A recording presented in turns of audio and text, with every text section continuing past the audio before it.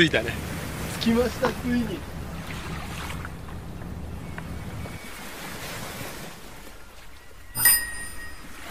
カリフォルニアサンタバーバラです。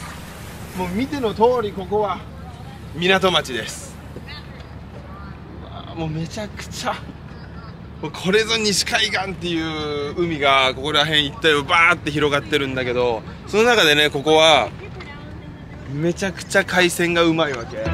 もともとここはスペインとかメキシコの領地いろんな時代があったんだけど今はアメリカ屈指の超観光スポットというか超リゾート地として今も栄えてます。ね全然違くない？さっきまで雪景色だったよね。同じカリフォルニアですが 山の方とこっちの海沿いでは全く違う景色ですね。いやめちゃくちゃ綺麗。すごいよ。もう超なんかリゾートザって感じだね。どうですか？初めての西海岸。めちゃくちゃ気持ちいいです。なんか長袖なのが場違いみたいじゃんね。そうだよ。そうだよね。もう僕も半袖の短パンですから。はい。西海岸です。ただいまサンタバーバラ来ました。さあそれでは私がサンタバーバラで一番来たかったお店。マッコンデルズアイスクリームに到着しました。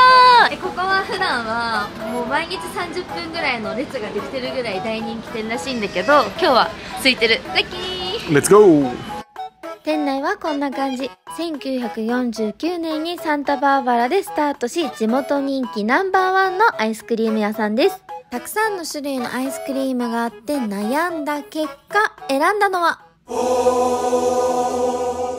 念願のアイスです。ネット人気のいちごと私が選んだバニラと店員さんのおすすめのチュロス味にしました。いただきます。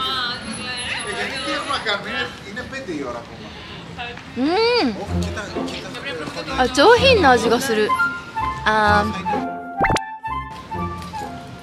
うん。ーうん。うんうん店員さん一押しのチュロスが一番うまいじゃん。えまだいちご食べてないじゃん。いちごはこうやってゴロゴロ果肉が入ってるって。どう？うん。う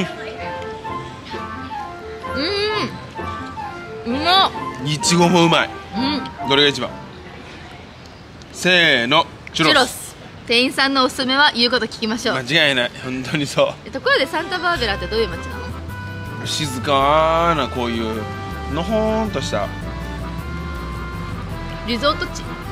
うん。リゾートというかまあ高級エリアだよね一応。なんか本当に静かで落ち着いた大人の人がこう住みたいような街だよね。ケイティ・ペリーの出身地だって。カリフォルニアだっただだだだだって歌あるじゃん。うん。だからカリフォルニア歌ってるんだなと思った私さっき調べてて。そうだよここサンタバーバラは南カリフォルニアの中で一番愛されてる街の一つなんだって。そりゃそうだわな。愛される理由めちゃくちゃわかるよ。すごいもんね。日本で言えば箱根とかみたいな感じでなんかさ全部がさ色白で統一されてるじゃん。エリア的にはそんな感じだよね。そうなんか景観を統一しましょうっていう感じがすごい伝わってくる。ちょっとちょっとちょっと。え何？何買ってきてんの？じゃーんサンタバーバラの名物のウニでーす。い やウニでーすじゃなくて。いやなんかちょっと高かったの。18ドルで、うん。日本円で2700円ぐらい。でもね店員さんがイケメンだったんだよね。どれぐらいイケメンだったの？えちょ見てきてよ。俺とどっちがかっこいい？あそうすけかな。本当は？でも目の色が多かったの本当は？え？いや本当はどっち？彼は若かった。そうすけでもウニ一緒に食べよう。見て。しかもめっちゃ優しくてわさびとソイソースくれた。あと見て懐かしのチョップスティック。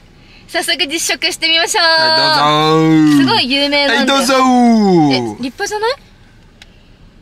あ全然臭くない。いただきます。うん。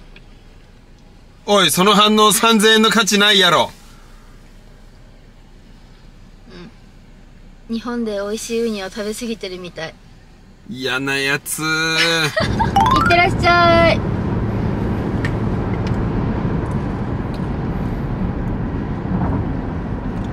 これわさび食わした？